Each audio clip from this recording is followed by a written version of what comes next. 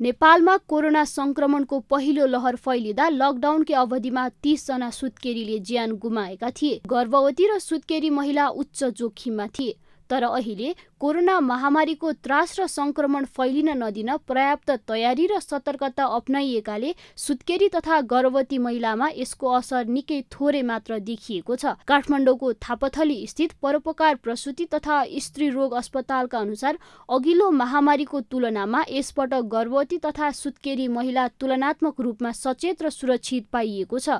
विगतमा कोरोना सर्ने त्रासले घरभित्रै थुनिएर बस्ने व्यायाम तथा घुमफिर नगर्ने नियमित प्रसुति सेवा तथा गर्भ जाँच नगराउने समस्या धेरै थियो। गम्भीर समस्या देखिएपछि मात्र अस्पताल आउने गरेकाले मातृ तथा बाल मृत्युदर विगतमा केही बढी थियो।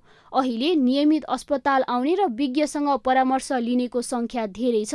तर पनि सार्वजनिक सवारी साधनको यात्रा र सार्वजनिक स्थानको भिडभाडको असर सुत्केरी र गर्भवती महिलामा परिरहेको छ। हस्पिटल आउँदाखेरि चाहिँ यो जोखिम क्षेत्र हो जोखिम क्षेत्र हो चाहिँ भनिरहेको छ तर सरकारको काम चाहिँ नियम बनाउने हो भने जनताको काम चाहिँ नियम मान्ने हो होइन?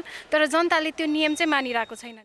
सार्वजनिक सवारी साधनको भिड छिचलेर अस्पताल आइपुगेका महिलाहरू अस्पताल परिसरमा पुगेपछि भने स्वास्थ्य परीक्षण गर्न हिचकिचाउने गरेका छन्। आफू सुरक्षित भए पनि अस्पतालको अस्तव्यस्त भिड र परीक्षण उपकरणबाटै संक्रमण सर्छ कि भन्ने त्रासको मनोविज्ञान सुत्केरी र गर्भवती महिलामा पाइएको छ। धेरै डर भइरहेछ। त्यही मास्कहरू लाउनु पर्यो आफू सुरक्षित हुने दुई मिटरको दुरी काम गर्ने। विज्ञहरूका अनुसार गर्भवती तथा सुत्केरी महिलामा कोरोना संक्रमणको जोखिम उच्च हुन्छ।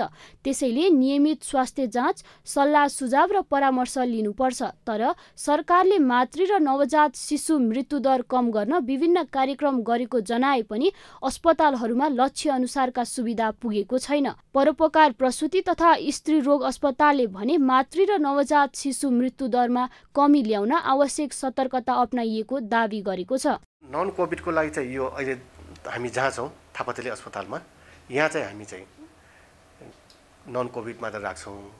अनि हाम्रो चाहिँ अलिक पारिपट्टि बागमतीको पारी कुपन्डोलमा पनि हाम्रो चाहिँ अस्पतालको घरहरू छ र अस्पतालको भवनहरू छ।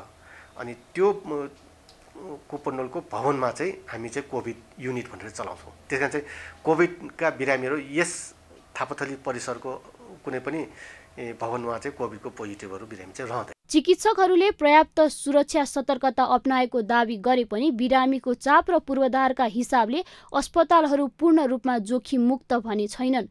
त्यसैले स्वास्थ्य केन्द्रमा जाँदा हरेक नागरिक आफै सचेत रहन आवश्यक छ।